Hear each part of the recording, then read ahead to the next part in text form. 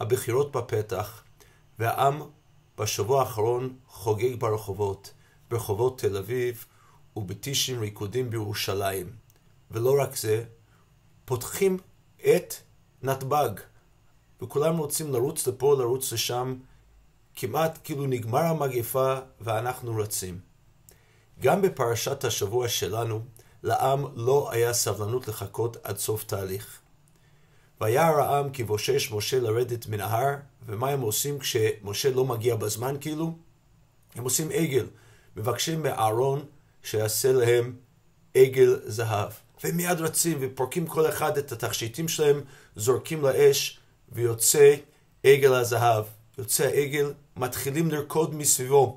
מסיבות רחוב משתה מסביב לעגל הזהב. וכל זה למה?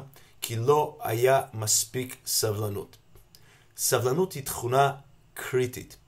רבי יצחק דון אברבנאל, שהיה שר האוצר של פורטוגל, כותב שאהרון הכהן לא נכנס להנהיג את העם, את העם בארץ ישראל בגלל מעשה עגל הזהב, בגלל שהוא פיקד על המצב כשלא היה סבלנות לעם, כשהעם רצה מיד ריקודים, מסיבות רחוב, טישים ופתיחת השמיים, שנוכל לטוס לכל מקום, אסקפיזם, כי לא היו מוכנים לתהליכים ארוכים.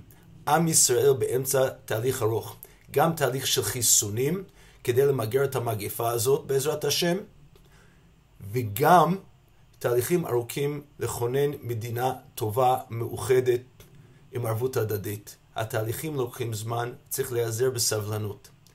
אנחנו בעזרת השם נגיע לשם, אבל אסור לנו, אסור לנו, כמו העם שבנה את העגל ועשה את העגל ביחד עם אהרון, לאבד סבלנות. סבלנות היא תכונה קריטית לעבור גם את המגפה, גם את הבחירות וגם לבנות אומה.